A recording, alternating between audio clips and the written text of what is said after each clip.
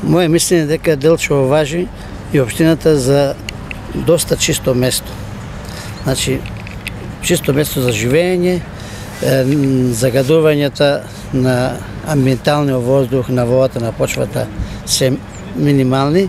Меѓутоа, тоа допринесува затоа што индустријата е на како да се каже, на бајпасли, како да го се употребам зборот, а некогашните поголеми загадувачи како асфалтната база на гранит, потоа кожарата не работат.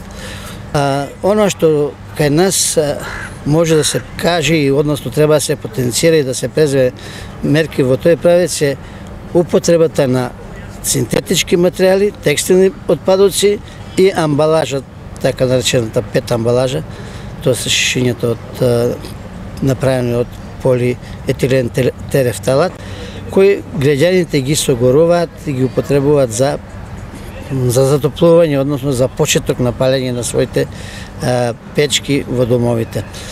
А, законски тоа е казнено, меѓутоа казните нема да додадат видливи резултати, бидејќи нашата свест овде, па и во Македонија, е дека кој ќе ме види мене во 9 вечер, во 10 вечер, од ја ќе ставам пластични шишиња или текстилен отпад. Работи се да луѓето од општината задолжени да за тоа да се обидат да контактираат со секој граѓанин, со секој дом да им кажат дека согорувањето на материјалите синтет, на синтетичка база, покото текстилните отпадоци, кои во Делчево ги има доста, бидејќи уште само конфекциите работат, се многу а, штетни за животот на луѓето, односно за здравјето, Веќе при сигурување на овие материјали се ослободуваат.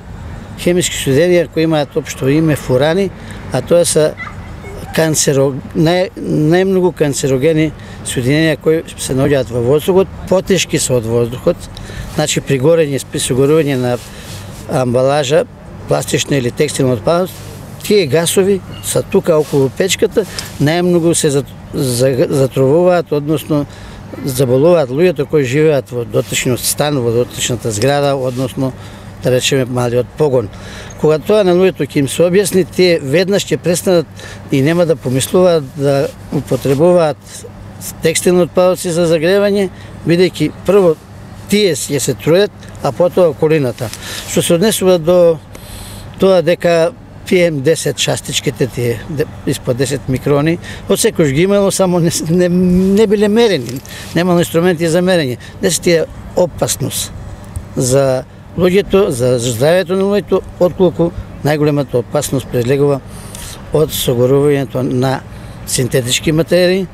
Текстил знаете дека е, памукот и волната се со ограничена количина, потребно за нивното производство е потребно простор, земјоделие и сточарство, значи 90% и повеќе од текстилот е на синтетичка база. Основа на нив се производите од нафта, од почнувајќи од метанот, па натаму се до другите, значи ПВС, поливинил хлориди и други кои се соединенија на база на нафта со додаток на флор, хром, јод, бром и истите се ефтини, релативно ефтини, затоа и текстилот ефтин, меѓутоа нивното согорување на температура по-ниска од до 200 степени целосови значи тие фурани што ги спомнав не се распаѓаат, додека потполно распаѓање има на 1200 а, загревањето кај нас, односно на дрво, е околу 850 степени. Значи, тие нераспаднати ги вдишуваме. А што е најжелно и најлошо, немаат мирис, боја и вкус. Значи, не можеш да ги осетиш дека ги вдишуваш. Ако го дразнат, да речеме, дишните патишта, ќе се закашла, човек излезе.